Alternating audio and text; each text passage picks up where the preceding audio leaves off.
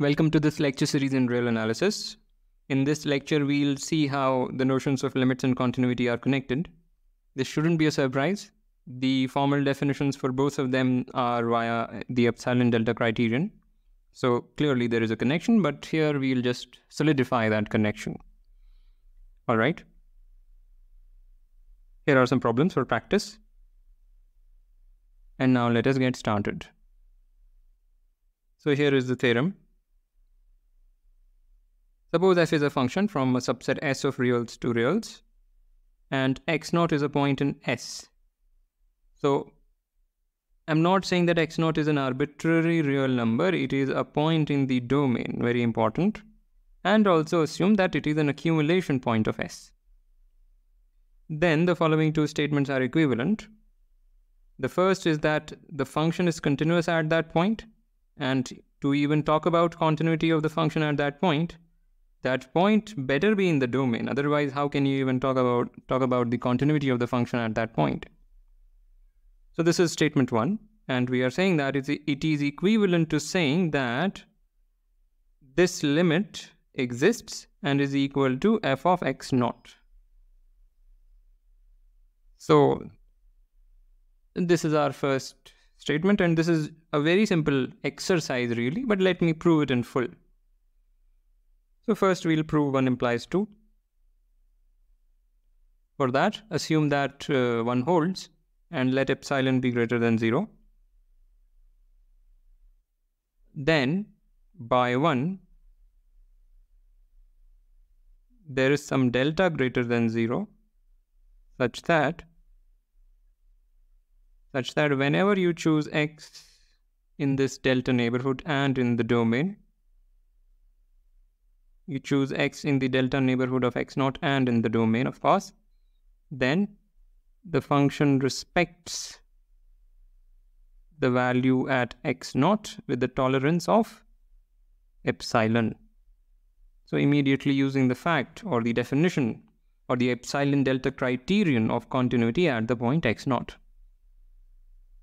Okay, but this tautologically implies that let me not use too many implies signs. So this this implies this gives if you choose x in S and x in this delta neighborhood and different from x naught. So now you're choosing basically in the delta deleted neighborhood of x naught and in the domain as well. So that implies the same thing as the previous one.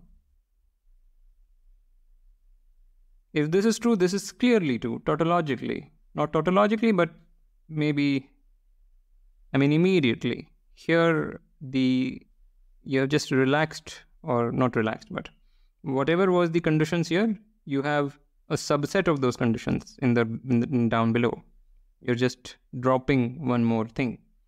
So anyway, this this implies that should be clear to you. And that implies that 2 holds, that that limit exists and is equal to fx naught.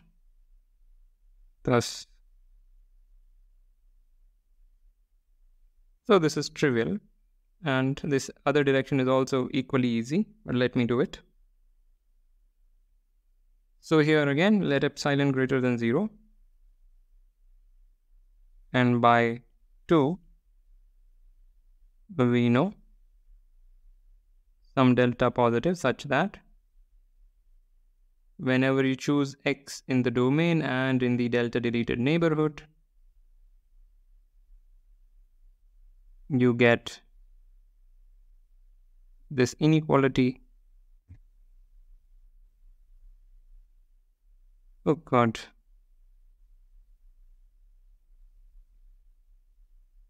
You get this inequality and this immediately implies that implication. Why? Because this is true. I mean, okay, how should how shall I say it? This this we have just by 2, but even at x equals x naught, this equation is clearly true. At x equals x naught, this is 0 and hence this is clearly true. So we may as well erase this. We may as well drop this special insistence and still this implication holds. And if this implication holds, then we have found a delta responding to this epsilon and hence 1 holds. Therefore 1 holds. And we are done. So this was a really simple exercise. Okay. Now for the interesting part. Equally easy but interesting. So you have a function from a subset S of reals to reals. And this time we have an accumulation point of the domain, but we are not insisting that this is lying in the domain. This is just some point in the reals. It is an accumulation point of the domain. That is what we are assuming.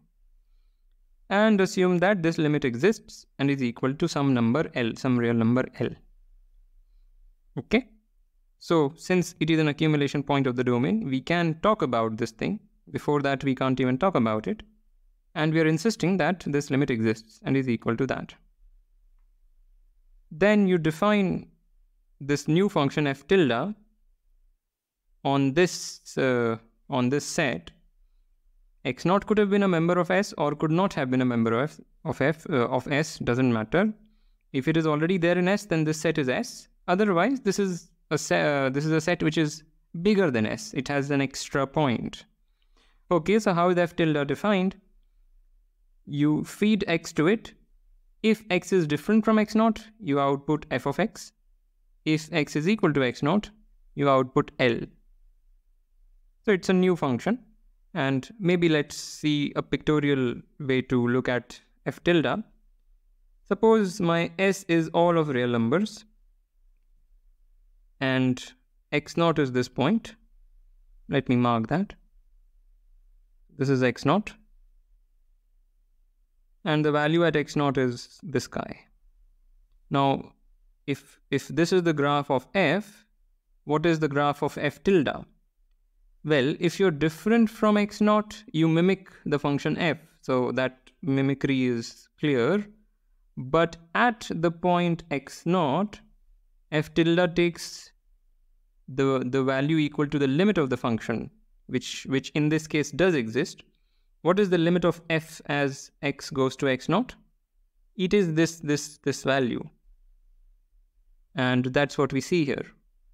So there was sort of a defect in this function meaning at x naught suddenly the function just flied off, this f tilde attempts to fix that defect, if there is a defect. Right, so I hope that motivates f tilde. And uh, let's just prove that f tilde is continuous at the point x naught. Not that x tilde is continuous everywhere, f tilde is continuous everywhere. We are not claiming that. We are just saying that f tilde is continuous at x naught. Okay, so why is that? Uh, I didn't, I don't want to take an extra page for it. So let me try to argue here, but that might not be sufficient.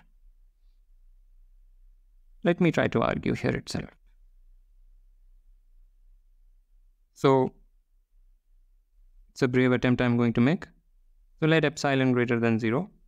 We want to we want to show f tilde is continuous at x naught. So since we have this limit this is equal to L, we have delta greater than 0 such that if x is in the domain of the function, x is different from x naught, and it is in this delta deleted neighborhood. Yeah, so x is in the domain, it is in the delta neighborhood, but different from x naught. Is same as saying x is in the delta deleted neighborhood of x naught and in the domain, then we have that these two things, fx and f of x naught, are not very far apart. They are epsilon apart at most. We have that. But note that I can just put a tilde here. You can just put a tilde because before, yeah. So here, here I can easily put a tilde, right? sorry what have I written this is L sorry sorry this is L since this limit is equal to L uh, since this limit is equal to L we have a delta given an epsilon we have a delta such that this implication happens immediately from the definition of limit or the epsilon delta way of looking at limits. Now, instead of fx, I can either easily write f tilde x because when x is not equal to x naught, you can write an f tilde here. f tilde x equals fx. That's the definition of f tilde. So there is nothing wrong with it.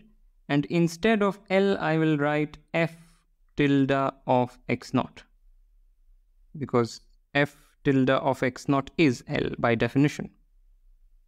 Okay, so we have this. But what happens at x equals to x naught? If you have x equals to x naught, this is obviously 0. So I can also delete this. Right?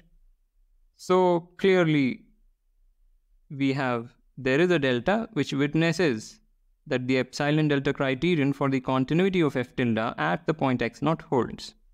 So this proves the continuity of f tilde. So we did not have to go to any extra page. Okay. Wonderful. And the converse is also true. I haven't written the converse, but if you define f tilde that way and it turns out to be continuous, then this limit is equal to L. So that part is also true. Just a reverse of this. So fine. I mean, yeah. And, uh, and as an exercise, you can you can try and prove or try to prove these things uh, formulate and prove the one-sided version versions of the things discussed today of the of the theorems discussed today. Okay? That's an exercise and yeah with that i want to end this lecture. As usual like comment share subscribe and i will see you next time